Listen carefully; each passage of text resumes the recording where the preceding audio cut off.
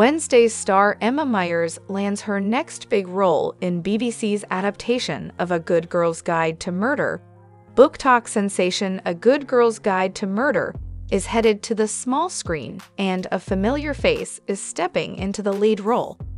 According to Deadline, Emma Myers, who's best known as Wednesday Addams werewolf bestie Enid Sinclair in Netflix's Wednesday, will star as Pippa Pip Fitz-Amobi in the TV adaptation. A Good Girl's Guide to Murder is book one in a trilogy series by British author Holly Jackson.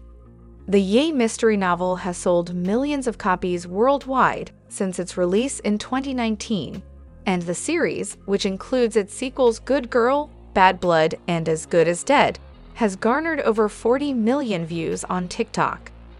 The casting for A Good Girl's Guide to Murder is asterisk perfect asterisk so far, and we cannot wait to see who else joins this cast. Here's everything we know so far about the TV adaptation of A Good Girl's Guide to Murder. The series follows Pip Fitz-Amobi and her investigation into a murder-suicide that happened five years earlier, involving a popular senior in her high school and her boyfriend. Smart and single-minded, isn't sure about whether, five years ago, schoolgirl Andie Bell was murdered by her boyfriend Sal Singh. The series description reads, per deadline.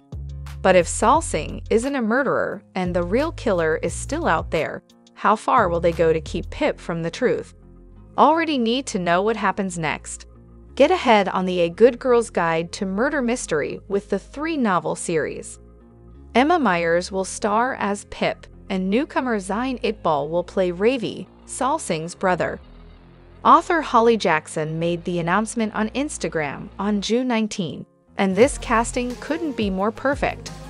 From the moment we announced that A Good Girl's Guide to Murder was coming to the BBC, I know there's been a huge amount of speculation from fans about who will play Pip and Ravi. Fiona Campbell, controller of Youth Audience, BBC iPlayer, and BBC Three said in a statement per deadline. In Emma and Zain, we found two actors who embody the characters so perfectly, it will feel as though they've stepped straight from the pages of Holly's books onto our screens. Casting hasn't been announced just yet for other characters, but you know we'll update you here with any and all new details. The series will air on BBC Three.